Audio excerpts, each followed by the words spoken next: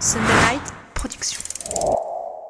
Dans ce second épisode de notre masterclass avec Nicolas Navarro, nous allons voir comment il élabore son plan d'entraînement et surtout comment il l'a fait évoluer au fil des années. C'est parti. Vous êtes-vous déjà demandé quels sont les éléments clés qui permettent à un marathonien d'atteindre l'excellence? Chaque vendredi du 2 au 26 janvier, découvrez notre masterclass avec Nicolas Navarro, l'un des meilleurs marathoniens français. De ses méthodes d'entraînement à ses stratégies en nutrition et récupération, en passant par ses astuces pour rester motivé, Nicolas vous ouvre toutes les portes d'une préparation parfaitement orchestrée. Cette émission vous est proposée par On, la marque suisse née dans les Alpes et partenaire officiel de Nicolas Navarro.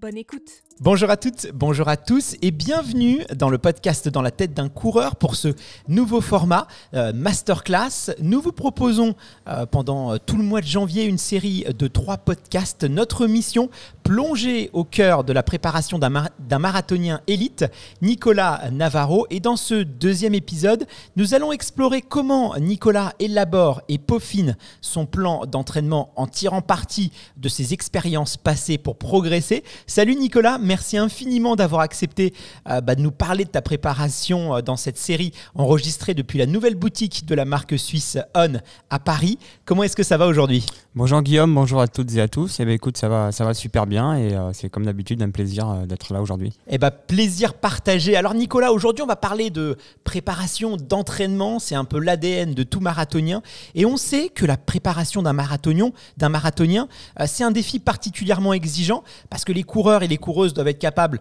euh, eh bien, euh, d'améliorer énormément de qualité pendant euh, toute leur préparation, tout en gérant la fatigue de la- bah, de- de l'entraînement et ça c'est un vrai défi. Mais avant de euh, rentrer un peu dans le cœur de la préparation, selon toi, quelles sont les, qualités, euh, aussi bien physiques que mentales, d'un marathonien euh, Si tu devais les résumer en quelques-unes? Bah, pour les résumer, je pense que dans, l'idée de tout le monde, c'est, l'endurance. Parce que le, marathon, c'est quand même une course qui est, assez longue. Mais au final, c'est, plus de la résistance que, de l'endurance. Parce que c'est savoir tenir en fait une, certaine vitesse pendant, pendant un long moment. Donc, donc voilà, c'est plutôt la résistance que l'endurance. Enfin, c'est un mélange des deux, je dirais. Et coupler un peu aussi un peu de vitesse quand même. Parce qu'il faut savoir tenir justement cette vitesse euh, le plus longtemps possible. Donc en fait, il faudrait, il faut pas résumer selon toi euh, le marathon à une simple épreuve d'endurance. Et l'idée, c'est de courir quand même le plus rapidement possible pendant 42 km 195. Mm. Et c'est vrai que la vitesse, et plus le niveau il monte, plus la vitesse, elle est stratégique finalement, même dans une discipline d'endurance. Exactement, oui, c'est voilà, c'est vraiment euh, la vitesse, c'est la base de, de tout, je pense, et après euh, les qualités font, font que on peut la tenir le plus longtemps possible euh, et le plus rapidement possible aussi. Alors, euh, un marathonien, pour développer ses qualités de vitesse, pour développer euh, ses qualités euh, d'endurance, eh bien, il doit se préparer. Et généralement, une préparation marathon, c'est assez long. Toi, combien de temps tu consacres à ta préparation vraiment? Quand tu te dis, ça y est, je rentre dans, un, dans une prépa marathon Ça va être. alors, il y a 12 semaines, 8 semaines, 6 semaines, 20 semaines. Voilà, combien de temps, toi, tu, tu y consacres? Bah après, c'est vrai que tout dépend, je pense, le, niveau de chacun, et, euh, mais moi, c'est vrai que c'est euh, en général, c'est c'est 12 semaines, et euh, donc c'est vraiment quelque chose d'assez. C'est 12 semaines qui, vont être vraiment, vraiment très intenses, quoi, donc il faut, faut vraiment arriver frais mentalement et physiquement avant d'attaquer la prépa, oui. Donc pour toi, c'est 12 semaines. C'est vrai qu'il y a un consensus presque international, peu importe finalement là où on va. Tout le monde s'est un peu euh, harmonisé sur le fait qu'une prépa marathon, c'est 12 semaines. Euh, il y a des enjeux parce que l'idée, c'est que la préparation doit être suffisamment assez longue pour pouvoir travailler bah, toutes ces qualités qu'on va évoquer tout à l'heure. Mais si elle est trop longue aussi, il y a un manque de mobilisation. Il faut quand même que l'athlète soit impliqué dans sa préparation, impliqué physiquement, mentalement, mais aussi émotionnellement. Parce que ça, tu vas me le confirmer. Quand on se lance dans une préparation marathon, on y pense tous les jours. On se lève le matin, on pense marathon. On, euh, on va prendre son petit déjeuner à midi. En fait, on peut y penser presque 50 fois par jour à sa prépa marathon. C'est quelque chose qui est presque obsédant. Oui, c'est exactement. c'est vraiment quelque chose, euh, quand on se lance dedans euh, et qu'on a vraiment ça en tête, euh, pendant, ces 12 semaines, justement, on va y penser euh, tout au long de la journée. Au final, on va penser qu'à ça, à son entraînement du soir ou, à l'entraînement du lendemain ou à ce qu'il faut manger ou pas manger. Enfin voilà, c'est à récupérer le maximum. Donc oui, c'est vraiment quelque chose de, de, de passionnant, et, euh, mais qui, prend, qui, qui demande beaucoup de beaucoup d'énergie aussi. ouais. Et euh, alors, du coup, 12 semaines, est-ce que tu, chaque semaine est différente et puis euh, tu prends chaque semaine comme, comme elle vient ou tu vas plutôt organiser ta session d'entraînement en trois blocs où tu vas travailler des qualités spécifiques? Comment tu organises un peu ces, ces 12 semaines de préparation, toi? Bah, du coup, oui, effectivement, ça va être plutôt découpé en, en trois blocs. Donc, c'est des blocs de trois semaines très intenses avec une semaine un peu plus cool. Donc ça, va, ça va se répéter trois fois. Et, et, après, du coup, on va commencer par un bloc plutôt général, du travail général avec pas mal de côtes et beaucoup de renforcement musculaire. Et plus on va aller vers l'objectif, plus on va travailler les allures les allures spécifiques euh, à l'entraînement. Bon, on va détailler un petit peu ces blocs, mais avant ça, moi j'aimerais euh, euh, qu'on parle un peu de la phase que moi je vais appeler un peu grossièrement de pré-préparation. toi, avant de te lancer justement dans ces 12 semaines de prépa, quelle est ta stratégie? Est-ce que par exemple, et ça c'est quelque chose qu'on peut voir pas mal de fois, tu vas faire des, des 10 km avec l'idée de te dire, plus je vais être rapide sur 10 km, juste avant de me lancer dans ma prépa. Et plus finalement, euh, la prépa va bien se passer parce que je vais avoir des bases solides. Ou au contraire, tu vas plutôt te dire, euh, je vais euh, arriver assez frais avant de me lancer dans une prépa marathon, peut-être pourquoi pas après une coupure ou ce genre de choses. dans quel état de forme tu aimes commencer cette prépa de 12 semaines? C'est vrai que moi, j'attaque toujours les prépas marathons. Je suis pas, enfin, il faut pas arriver au top de sa forme pour attaquer la prépa marathon, mais il faut pas non plus arriver euh, vraiment euh, hors de forme non plus. Donc il faut vraiment trouver le juste moyen, je pense, juste milieu, pardon, d'arriver assez frais mais assez en forme aussi pour, euh, pour encaisser le volume d'entraînement et, et, toute la prépa marathon. Donc, mais c'est vrai que moi je suis pas, je suis plutôt pour arriver pas, pas trop trop en forme.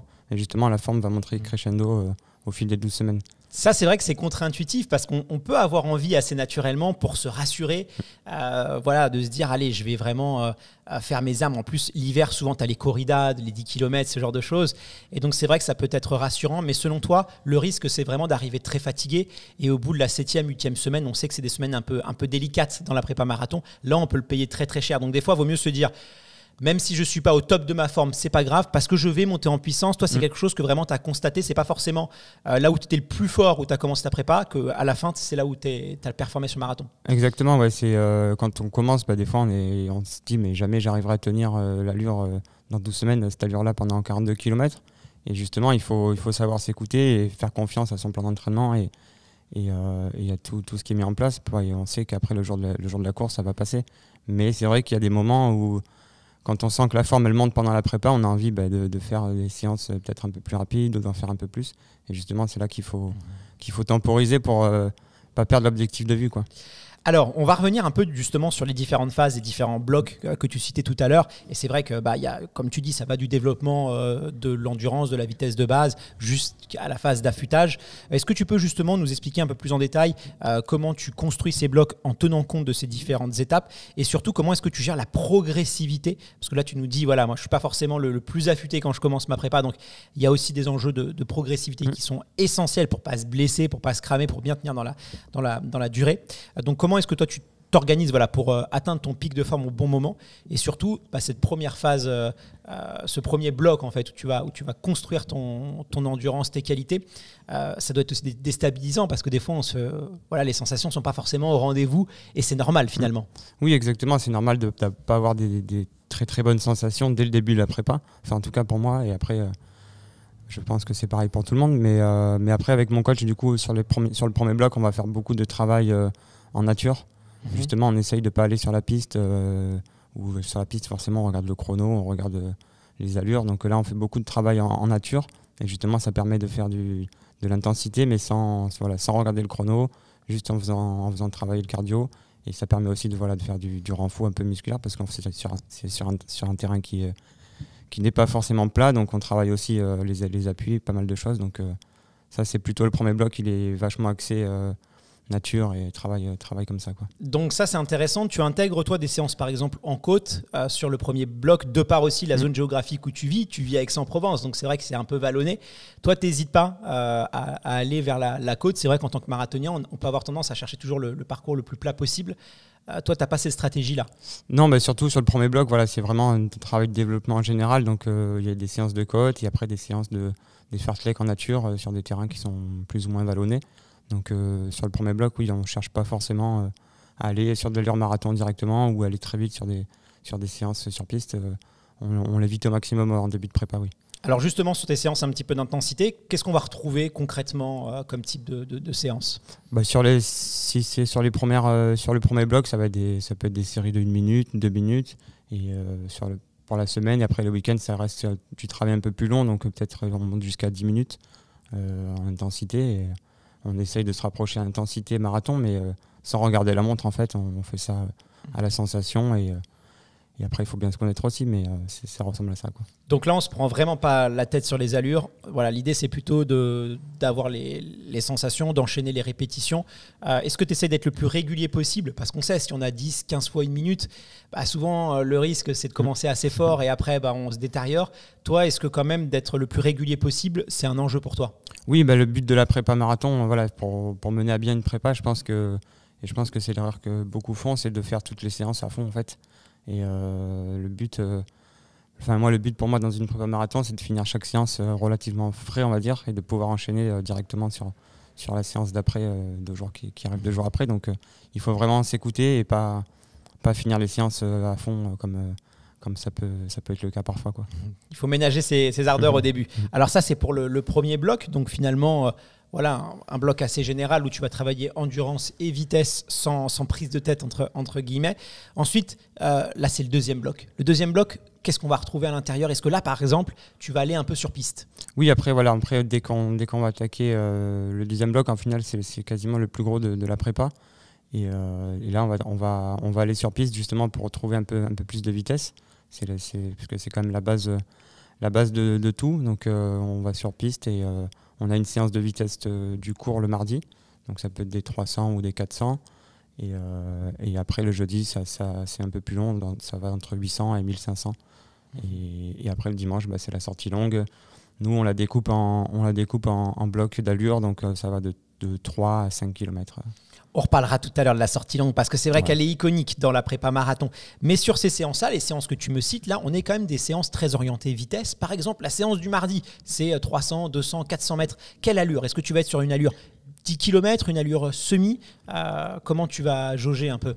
Non, oui, ça va être euh, vraiment un travail de vitesse sans, être non plus une séance de vitesse pure mais on va être un peu plus rapide que de l'allure 10 km. Ça sera plutôt 5 km alors Pas forcément allure 1500 mètres, on va dire, mais Non, quand même pas, quand même pas mais ouais, ça se rapproche de l'allure 5 km euh, mmh. en, début, en, début de séance. Et puis après, on peut accélérer un peu sur les derniers, mais sans, sans, voilà, sans vraiment chercher à aller très vite. Euh, mmh. Sinon, c'est là qu'on peut se faire très mal. Quoi. Donc il y a une petite finesse, c'est un peu plus rapide que l'allure 10 km, mais il faut pas trop tenter le diable. Mais ça, c'est pas évident, parce que tu le sais, quand on est en prépa marathon, on allonge les kilomètres. Donc on a un gros moteur, euh, mm. c'est une routière, quoi. Voilà, faut s'imaginer une grosse berline allemande, euh, voilà. Et là finalement, on demande des qualités de vitesse, des qualités de, couper, euh, de couper. Comment est-ce que toi tu arrives à jauger ça? Parce que c'est, ça peut être très difficile psychologiquement. On a l'impression d'aller au-delà de ces retranchements. Comment tu arrives à maintenir toi cette qualité de vitesse pendant une prépa marathon? Ben Moi, c'est des séances que justement que j'aime bien de retourner sur piste sur des séances courtes.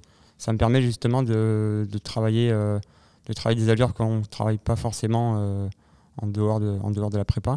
Donc euh, j'aime bien ce genre de séance et ça me permet de retrouver justement une certaine foulée euh, beaucoup plus dynamique et, mmh. et travaille le relâchement aussi. Donc, donc j'aime beaucoup ce genre de séance et je trouve qu'elles sont hyper importantes la séance du jeudi, donc là on est encore sur des séances assez avec un, volume quand même assez court. En tout cas, voilà, on n'est pas sur des 3000 ou des 5000, ce genre de choses. Donc toi, tu restes quand même sur des 1000, 1500 mètres.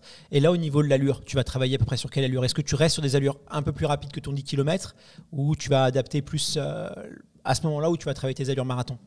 Non, mais là, on reste encore sur des allures plus rapides que, celles du marathon. Donc euh, on va tourner euh, généralement tout dépend de si c'est du 800 ou du 1500 mètres qu'on fait le, jeudi, mais ça, ça, se rapproche de l'allure 10 km, plus ou moins. Mhm. Alors là, on a parlé un peu des séances spécifiques, des séances qu'on appelle de qualité, mais euh, globalement, euh, le marathon, il faut pas l'oublier, c'est aussi beaucoup de footing. Toi, justement, ces footings-là, des fois, nous, on a tendance un peu à les mettre de côté. On peut penser qu'ils ne sont pas très importants. D'ailleurs, même certains coureurs, quand ils sont un peu pressés, c'est les, les premières euh, séances qui, voilà, qu'ils annulent, qui sautent. Toi, la répartition entre tes séances de qualité et tes footings, on est sur quel euh, en pourcentage? On est plutôt sur du 80-20, 70-30. Comment tu vas un peu arbitrer entre ces séances de qualité et ces séances vraiment de volume pur? Ouais, je pense que je dois être aux alentours des, 70-30 euh, en termes de répartition. Et après, bah, c'est vrai que les footings, euh, comme tu dis, des fois on a tendance à, les faire soit un peu à la va-vite, soit les bâcler un peu, ou même les, faire sauter si, on n'a pas le temps. Mais, mais c'est vrai que c'est hyper important déjà pour, bah, pour la récupération et, euh, c'est ce qui permet aussi de faire un peu plus de volume. Donc, euh, Donc c'est hyper important, mais après le, piège aussi c'est de les faire justement un peu trop rapidement. Et, moi je suis plutôt du parti à les faire vraiment, si j'en ressens le besoin, à les faire vraiment très lentement. Et c'est un footing pour récupérer, c'est pas un footing pour accumuler de la fatigue. Donc il faut, vraiment s'écouter sur ces, sur ces footings-là. C'est vrai que toi, tu es un marathonien qui partage beaucoup tes séances sur, euh, sur euh, voilà, une célèbre application euh, d'entraînement. Et on peut voir que tu fais certains footings même à 5, 5, 30 au, kilomètre. c'est vrai que ça peut paraître assez étrange parce que tu es un athlète de très très haut niveau. Mais toi, tu le dis vraiment, les footings, il faut pas aller trop vite. Parce que c'est vrai que c'est piégeux. Quand on en prépare marathon, finalement, on est très affûté. Et mm. donc, on peut très facilement en footing se sentir à l'aise. Mais ça, c'est un piège parce qu'on peut cumuler de la fatigue. Euh, toi, vraiment, tu es partisan, euh, en tout cas quand, quand le corps se fait ressentir, de, d'être très lent, quoi, finalement. Exactement, il faut, faut savoir vraiment s'écouter euh, pendant une prépa marathon et, et, quand on a un footing de récupération, ben, il faut, que, faut vraiment pas qu'on sente qu'on force, donc il faut vraiment, vraiment s'écouter et vraiment pas regarder la montre à la limite. Et on, sait, on, court vraiment à la sensation qu'on on se sent léger, on se sent, enfin voilà, vraiment sans forcer.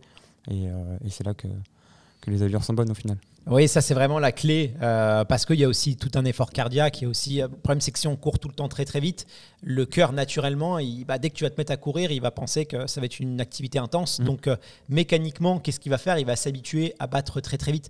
C'est pour ça que les coureurs de 800, les coureurs de, de 1500 mètres, surtout les, jeunes, les cadets, et eh bah, dès les premiers, premières foulées, ils ont un cœur qui tout de suite va, aller, va battre très très vite parce qu'ils anticipent finalement mmh. cette intensité. Et justement, courir très lentement, ça permet aussi euh, à l'organisme de comprendre que activité physique n'est pas directement liée à intensité, donc il n'a pas tout de suite à, beaucoup pulser. Donc c'est l'une des raisons, il y en a plein d'autres qui fait que c'est vraiment euh, essentiel. Euh, toi, tu es un marathonien qui euh, est plutôt partisan d'un gros volume d'entraînement. Alors évidemment, euh, ça s'est fait très progressivement et tu es professionnel, mais tu pratiques ce qu'on appelle le bi-quotidien, c'est-à-dire que tu vas t'entraîner deux fois par jour. Mmh. Euh, est-ce que tu confirmes que tu es un adepte du bi-quotidien? Et si oui, à quelle fréquence tu vas doubler? Est-ce que tu doubles tous les jours? Est-ce que tu doubles par exemple le mardi et le jeudi quand tu fais des séances de piste? Ou au contraire, ces jours-là, tu vas pas doubler? Comment tu organises un peu, comment tu manages cette, ce planning de, de séances c'est vrai que oui, du coup, moi je fais, je fais pas mal de, de bi-quotidien et euh, bah, après, voilà, il faut vraiment y aller progressivement. Ça s'est pas fait euh, du jour au lendemain et, euh, et du coup, bah, pour répondre à ta question, je fais ça quasiment. en gros, j'ai 10 à 12 séances par semaine, donc quasiment tous les jours, je, je double, sauf vraiment les jours où il y a des sorties longues. Donc là, il faut, quand on monte jusqu'à 40 km, on va, on va pas tenter le diable et à recourir le soir. Mais, mais après, quand j'ai commencé justement le bi-quotidien, c'était plutôt les soirs les soirs, je faisais des séances euh, sur piste le matin ou, le soir. Et c'était soit le matin, soit le soir le footing. Euh, c'est je doublais voilà, sur, les, sur les jours où j'avais des séances, euh, des séances de qualité. Et tu doubles toujours avec un footing. Tu vas pas faire par exemple deux séances de piste dans la même journée. C'est toujours ou deux sorties longues par exemple dans la même journée. C'est toujours finalement du volume simple que tu vas faire donc du footing en plus bah, c'est vrai que c'est vrai qu'il y a de plus en plus cette méthode-là de faire deux séances euh, sur piste, par exemple. Euh. Un peu à la Kenyan, ouais. Exactement, ouais. C'est vrai que ça, il y en a de plus en plus. Je vois ça, je vois ça euh, passer un peu sur les réseaux et, sur les gens que je connais. après, non, moi, deux séances dans la journée, j'ai rarement fait. J'ai déjà fait une séance sur piste le matin et, et des footings un peu plus actifs le soir. Mais deux séances sur piste, non, j'ai jamais encore testé. Alors, Évidemment, il y a une séance qui est iconique et t'en parlais euh, tout à l'heure, une séance qui est vraiment euh, là notamment pour euh, travailler son endurance, c'est la fameuse sortie longue. Est-ce que tu pourrais nous expliquer un peu plus en détail comment toi tu intègres les sorties longues dans tes plans d'entraînement? Comment est-ce que tu les structures? Est-ce que l'idée c'est vraiment de courir longtemps à des allures proches du, du footing ou est-ce que tu vas travailler aussi tes allures spécifiques marathon, tu vas les intégrer dans ces sorties longues Comment tu arbitres toi? Bah, nous, avec mon coach, on est plutôt partisan de découper la séance euh, en, bloc, de, en, bloc, euh, en à allure marathon en fait. Donc en début de prépa, c'est des blocs de 3, de 3 km environ et, ça peut monter jusqu'à jusqu'à 5 km. Et on fait plusieurs répétitions, mais euh, on est plutôt partisan de ça plutôt que de faire une sortie longue à allure régulière tout le long. Quoi. Mmh, mmh, mmh. Oui, parce que euh, voilà, il y a un peu de deux écoles. L'idée, c'est aussi quelquefois, bah, par exemple, euh, il y a souvent cette idée qu'on va habituer le corps à, une durée d'effort. Par exemple, toi, tu vas courir un marathon à 2h05. Donc l'idée, c'est de faire un footing de 2h05 tout simplement bah, pour habituer le corps. Mais on va pas chercher à, travailler les allures marathon. Les allures marathon, on va les mettre par exemple sur, toi, ce que tu disais, la séance du jeudi. Mmh. Et donc là, on va vraiment travailler sur la séance du jeudi, euh, le marathon. Ou sinon, dans les sorties longues, on va intégrer directement bah, ces, séances d'allure marathon après, ça implique du coup de faire trois séances de qualité finalement, parce que la sortie longue devient aussi une séance de, de, qualité. Donc il faut pouvoir aussi gérer ça. C'est pas, c'est pas forcément évident, mais toi en tout cas, c'est ta, c'est ta stratégie. Et là, du coup, j'imagine que tu es progressif. Ça veut dire que tu vas intégrer peut-être au début 3 euh, fois 2000 allure marathon, puis après tu vas monter à 3 fois 3000, 3 fois 4000, 3 fois 5000. Toi, tu dépasses pas les 5000. Euh, combien de temps tu mets de récup entre, les, entre, ces, entre ces blocs? Entre chaque, euh, entre chaque bloc, du coup, il y a un kilomètre de récupération, mais ça reste un kilomètre couru. Mais tu es assez actif ou tu. Ah, voilà, c'est assez actif. Généralement, moi, c'est entre 3,45 et 4, 4 kilos. Donc, tu commences ton entraînement pour récapituler un petit peu ta sortie longue. Tu vas faire quoi 30 euh, minutes euh, de footing, une heure de footing Un peu plus, ouais, ça monte jusqu'à jusqu'à une heure, mais pareil, progressif. C'est un, échauffement qui est assez progressif. On mmh. finit à l'heure euh, à l'heure quand même pas, enfin, un peu rapide quand même. Donc une heure de, voilà, de, de, préchauffage, on va dire. C'est ça. Euh, ensuite, tu intègres bah, ces, ces, fameux cycles, une minute de récupération assez active, et après, est-ce que tu arrêtes la séance ou tu vas prolonger encore sur 3, 4, 5 km un peu récup? Non, après, je fais quand même un petit peu de récup, mais je fais pas non plus énormément de récup. Je fais euh, maximum 2 km. Euh, ça, suffit, ça suffit amplement parce que quand on fait 15 km d'échauffement plus les 4 fois 5 km, ça fait ça fait déjà pas mal de kilomètres, donc ça sert à rien après de, de, faire beaucoup de récupération derrière. On a, on a, le temps sur la semaine après pour récupérer. Mmh. Oui, faut, voilà, faut pas être trop gourmand. Des fois, il faut savoir aussi se dire, allez, là, on va, on va rentrer se reposer. Euh, les coureurs, traditionnellement, aiment bien placer la sortie longue le dimanche. Est-ce que toi, tu es aussi dans cette logique-là? Généralement, euh, oui, c'est le dimanche. Enfin, après, après, depuis que je suis parti au Kenya, là-bas, il a fond le samedi. Donc, euh, mmh. c'est vrai que j'ai gardé un peu cette habitude maintenant le samedi. Mais du coup, ça fait une séance qui est quand même beaucoup plus dure du, fait qu'elle soit beaucoup plus proche de la séance du jeudi. Donc, euh, parce que la séance du jeudi, elle laisse, pas mal de traces. Donc, euh, donc du coup, la, la, sortie longue est quand même beaucoup plus dure le samedi matin que le dimanche. Mhm. Mais après, on adapte aussi en fonction de la météo. Euh, voilà, si on voit, si on voit dans, le, dans le week-end que la météo est plus favorable un jour ou l'autre. Oui, il faut savoir être flexible. Exactement. C'est ça, ouais. Pour mm. ça, c'est un bon conseil que tu peux donner. C'est vrai, quelquefois, il faut, même si c'est pas évident parce que les, séances sont positionnées dans la semaine de manière stratégique, mm. mais quelquefois, voilà, si on sait qu'il va y avoir des, conditions très difficiles. Oui, bah voilà, il faut savoir adapter, c'est sûr, parce que même si c'est bien aussi de travailler aussi quand il pleut, parce que le jour du marathon, il peut pleuvoir, donc euh, c'est aussi des, voilà, il faut, mais il faut savoir doser. quand il euh, pleut, on peut, on peut y aller, mais quand il y a trop de vent, après, on peut, on peut décaler sans problème. Exactement. Alors, effectivement, au Kenya, on ne court pas le dimanche parce que le jour de récupération est assez sacré. Euh, toi, est-ce que justement, tu t'accordes un jour de, repos dans la semaine? Certains athlètes euh, vont quand même courir, par exemple, 35-45 minutes. On sait qu'en Angleterre, finalement, je sais que les coureurs anglais euh, bah, font quasiment du 7 sur 7. Le jour de récup, c'est mm. juste un petit footing très cool. au Kenya, on l'a dit, c'est le dimanche, on fait rien, c'est un jour, c'est un jour sacré. Il y en a aussi, c'est des cycles de 10 jours. Donc, c'est des 10 jours et ils s'accordent mm. une journée de récup tous les 10 jours. C'est pas forcément par semaine. Toi, comment tu ton, jour de récupération? Bah, C'est vrai que j'ai pas énormément de jours de repos sur, euh, sur une prépa marathon, mais après il y a des jours, voilà, euh, les lendemains de sortie longue où c'est vraiment quand même beaucoup plus cool. Donc euh, ça peut être juste un footing de, de 10 km, une heure maximum. Enfin voilà, c'est vraiment des jours où, il faut penser à récupérer et, et, c'est vraiment important pour, le, pour pouvoir enchaîner après derrière. Quoi. Alors, tu nous as expliqué, hein, il y a trois blocs, 12 semaines de préparation, mais tu intègres quand même une semaine, j'imagine, ou peut-être un peu plus, tu vas nous le dire, de semaines un peu plus de relâche, tout simplement une semaine d'assimilation euh, pour pouvoir euh, euh, bah, bien emmagasiner toutes, les, toutes les qualités que tu as développées pendant ta prépa. Cette semaine un peu de relâche qui est différente de la phase d'affûtage, tu la places quand et qu'est-ce qu'on ce qu'on va retrouver dedans? Qu'est-ce que tu vas quand même conserver? Bah, Elle se place après, justement, les, il y a trois semaines d'intensité on va monter en charge progressivement. Et après, il y a justement cette semaine de, récupération, entre guillemets, mais bon, il y a quand même, quand même pas mal d'entraînement. et euh, on va garder en fait un peu les, mêmes bases que, que ce qu'on a fait sur les trois semaines précédentes, mais avec beaucoup moins de volume. En fait, c'est juste, c'est juste le volume qui va changer. On va, on va aller euh, beaucoup, faire beaucoup moins de volume et, euh, pour pouvoir assimiler tout, le travail. Mmh, mmh, mmh. Donc, en pourcentage, tu vas, tu vas baisser le volume de 30, 40%, 30, 20%, 20% pour qu'on se rende compte En pourcentage, euh, ouais, je pense entre, entre 20 et 30% de, en moins. de en charge, ouais. Et donc ça, tu la places, si j'ai bien compris, à la quatrième semaine Exactement, ouais. D'accord, hyper La intéressant. première est à 4 semaines. ouais. On a bien développé là un peu ces différentes phases. Il y a quelque chose euh, qui est assez commun, euh, c'est participer à des compétitions préparatoires pendant sa prépa marathon. Je sais que toi, fut un temps, ça t'arrivait de courir des, des 10 km.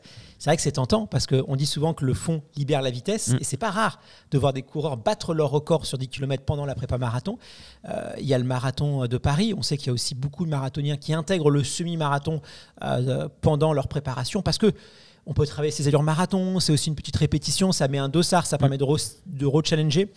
Toi, est-ce que c'est une stratégie que tu as gardée au fil des années? C'est-à-dire que tu participes encore à des compétitions pendant ton marathon On sait qu'il y a certains marathoniens qui font par exemple les crosses, ou voilà, toi, ces trois mois, ils sont quand même assez sacralisés et tu vas éviter de te cramer parce que le risque, évidemment, c'est de se sentir très en forme, de pas réussir à se maintenir.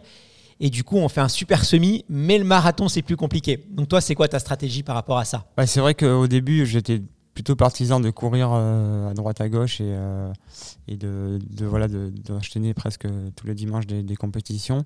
Et maintenant, bah, c'est vrai que maintenant que je fais des vrais prépas, on va dire, euh, je suis plutôt partisan de, voilà, de rester focus sur l'objectif. Une prépa marathon, c'est quand même beaucoup d'investissement, donc ce serait dommage de, de, tout, de venir tout gâcher en faisant des courses qui sont finalement secondaires. Donc, donc voilà, maintenant, je suis plutôt partisan de, de rester focus sur la prépa, même si j'intègre quand même quelques courses. euh, euh, par exemple, Marseille-Cassis, pour préparer le marathon de Valence. Et c'est des courses où, où voilà, c'est mon club qui organise et ça me tient vraiment à cœur d'y être. Donc, euh, C'est l'excep- l'exception, c'est pas la règle. Exactement, ouais. Après, voilà, il faut, il faut faire ce qu'on a. Enfin, si ça fait plaisir d'y aller, il faut, faut y aller aussi. Mais il faut savoir justement, voilà, pas la faire vraiment à fond. Et puis, ça vient, ça vient quand même dans des semaines d'entraînement. Donc, euh, il faut y aller un peu avec de la fatigue aussi. Pas, voilà, il faut savoir, pas forcément récupérer la semaine de la course. Et, euh, après, il faut savoir s'écouter le jour de la course et pas, pas la faire vraiment à fond. Sinon, après, derrière, c'est compliqué. On peut le payer cher, effectivement. Alors, on parlait des qualités de vitesse, on parlait des qualités d'endurance. Euh, on abordera la, récupération dans, un, dans un prochain, une prochaine masterclass. Euh, mais évidemment, il y a aussi un élément qui est clé, et t'en parlais tout à l'heure. Tu me parlais un peu du relâchement, c'est l'économie de course. Et voilà, l'économie de course, pour rester dans les métaphores euh, au- automobiles, c'est un peu l'aérodynamisme de la voiture. C'est-à-dire, on va se dire, plus elle va être aérodynamique et moins finalement on va consommer euh, d'énergie. Et euh, bah, ça passe par le relâchement. Et on sait que l'économie de course, ça passe aussi beaucoup par le renforcement musculaire. Est-ce que toi, justement, tu intègres euh, des séances de renforcement musculaire?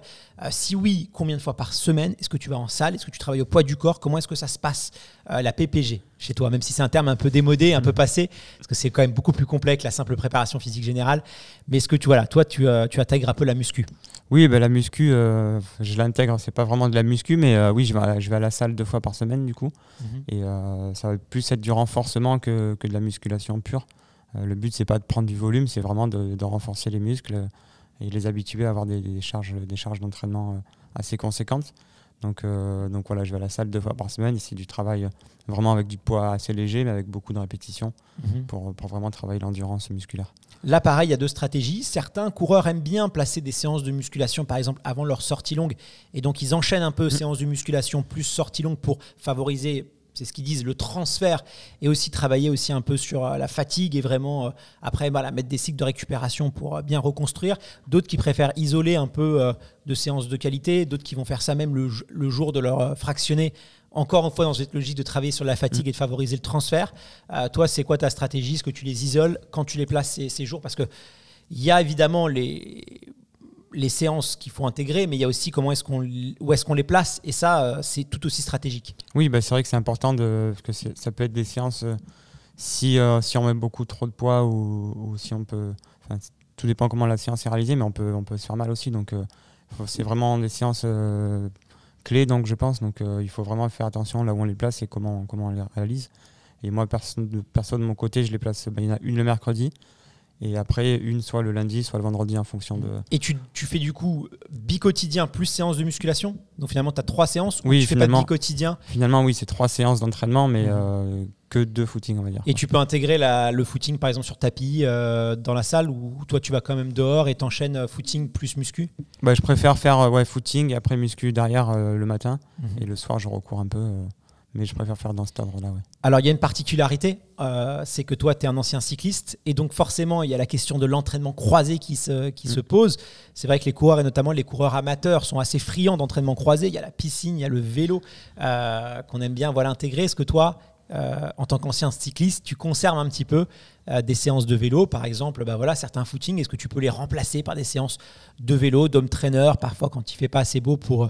euh, voilà, où tu restes quand même sur du spécifique, c'est quoi ton, parti pris sur l'entraînement croisé? Bah alors, Aix-en-Provence, il fait toujours très beau, donc le home trainer, euh, on s'en sert pas beaucoup. Mais sinon, euh, sinon pour répondre à ta question, le vélo, j'en fais, fais maintenant, j'en fais plus pendant mes prépas marathon, mais j'en fais, j'en fais énormément encore l'été parce que j'adore ça. Donc, je, continue de faire du vélo, ça me permet de garder un certain volume l'été quand je suis plus ou moins en coupure. Mais sinon, pendant ma prépa à marathon, maintenant, non, je fais tellement de kilomètres à pied que, je préfère faire que des, que des footings, euh, ça, me va très bien. Donc euh, spécifique, focus, euh, focus course à pied.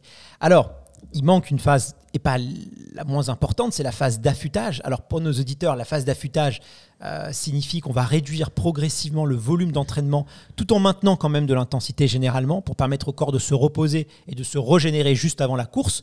Généralement, la semaine d'affûtage, ça peut aller de une semaine, dix jours, Mm. en fonction après des parties pris de chacun. Euh, et là, évidemment, il y a des personnes qui ont, be- qui ont besoin aussi de garder de la confiance en eux et donc qui vont garder quand même un peu de volume. Ils vont réduire, mais à 10-15% et qui veulent quand même garder de l'intensité. D'autres qui vont vraiment beaucoup réduire, voire même des fois 60%. Il y a vraiment des, des phases d'affûtage très importantes. Toi, comment est-ce que tu gères ces, ces phases-là? Pour toi, quelle importance tu, tu accordes à ces phases d'affûtage? Et avec les années aussi, est-ce que tu les as fait évoluer? Bah, c'est vrai que c'est une, c'est une euh, partie qui est vraiment, vraiment importante, mais c'est c'est pas forcément la partie préférée, je pense, de, de tous les coureurs. Parce qu'on réduit vachement l'impression de, de se désentraîner, en- entre guillemets. C'est très euh, déstabilisant. Oui, c'est c'est vraiment particulier comme, euh, comme, comme, par- comme partie de l'entraînement, de la prépa. Et, euh, mais moi, c'est vrai qu'à la base, je, je coupais vachement euh, les derniers jours, enfin peut-être la dernière semaine. Et, euh, et je voyais que, avec mon entraîneur, on voyait que le jour de la course, j'ai manqué peut-être un peu de rythme en fait en début de course. Du coup, on a fait évoluer un peu ça et, euh, et maintenant, je coupe à, à plus ou moins à, à deux semaines de l'objectif. Je fais vraiment 3-4 jours vraiment très très très cool. Et après, je remets de l'intensité jusqu'au jour de la course. Alors, ça a ju- un peu évolué quoi. Justement, cette dernière semaine avant le marathon, on sait qu'il est assez stratégique. Qu'est-ce qu'on va retrouver dedans? Est-ce que toi, par exemple, tu vas garder quelques footings et quelques séances de vitesse, mais vraiment euh, des séances de vitesse, de vi- des séances de vitesse de, de cadet, quoi, des 200 mètres, des choses très très simples? Ou euh, tu vas garder quand même du fall track, tu vas garder des, choses un peu plus spécifiques? Voilà, comment tu vas Qu'est-ce qu'on va retrouver dans cette dernière semaine d'entraînement?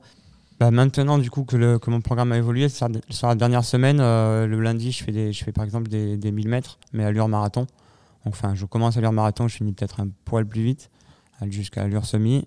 Et après, T'en fais combien à peu près en volume? J'en fais 8. 8 Oui, Ouais. donc ça reste quand même. Oui, euh, ça reste. euh, C'est juste euh, se dire d'avoir les allures en tête. Quoi, Voilà, parce que j'imagine qu'en fin de prépa, les 8 fois 1000 allures marathon, ça passe tout seul. oui, quoi. oui, ça passe tout seul, mais voilà, c'est quand même, euh, ça peut quand même laisser des traces si, si on n'a pas l'habitude de le faire.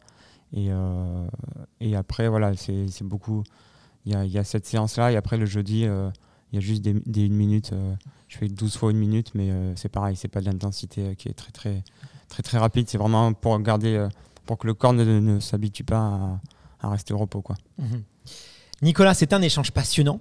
Euh, je crois que tu as commencé le marathon en 2013, c'est ça, au, au marathon ça, de. Montpellier. Si tu avais la possibilité de remonter le temps et de donner quelques conseils au Nicolas de 2013, notamment sur la prépa marathon, des conseils qu'il n'avait pas, parce qu'il voilà, qu'est-ce que tu pourrais lui dire à ce Nicolas de 2013 Bah, c'est vrai qu'en 2013, euh, j'avais même pas de prépa en fait. J'avais pas fait de prépa pour, pour mon marathon. Donc, euh, donc je pense que si j'avais un conseil à donner au petit Nicolas de 2013, bah, c'est que un marathon, c'est quand même une aventure qui est, qui est, qui est dure. Donc euh, il faut, faut bien se préparer quand même pour, euh, pour, pour être performant le jour J et pour pouvoir profiter à fond. Quoi.